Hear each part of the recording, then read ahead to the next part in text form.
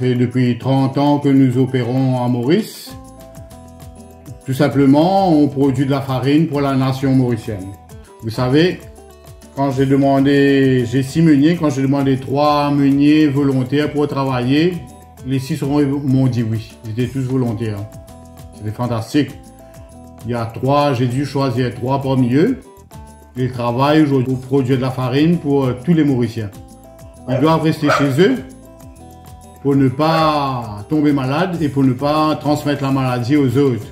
Ça, c'est un appel que je fais aux Mauriciens. Ces meuniers, ils sont là pour vous donner à manger.